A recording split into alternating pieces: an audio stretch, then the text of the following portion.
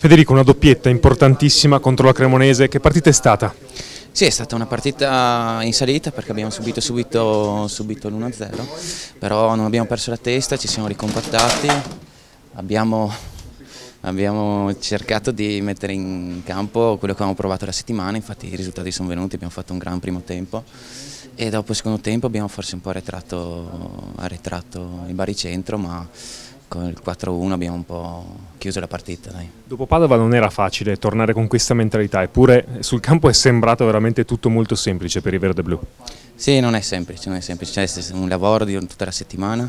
Sapevamo che dopo domenica non avevamo espresso il miglior calcio e che oggi era una partita fondamentale perché potevamo staccare un po' da, da zona playoff. No? E quindi, quindi bene, è una vittoria importantissima questa. Senti, 5 gol, forse una delle tue migliori stagioni. Sì, sì, sì, mi riesco a esprimere nel miglior dei modi, cioè il quinto gol come l'anno scorso, spero di farne altri.